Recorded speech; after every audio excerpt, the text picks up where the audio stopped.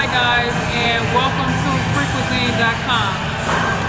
We are proponents of both health and nutrition, and this is why you see me in the gym.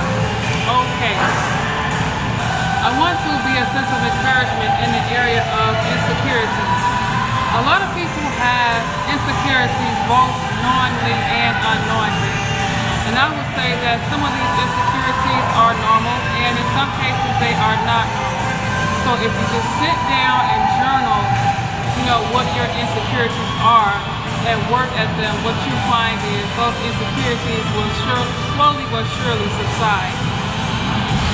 When you we talk about insecurities that uh, you know that pertains to going to the gym, you may find that there are other people in the gym that have those same insecurities.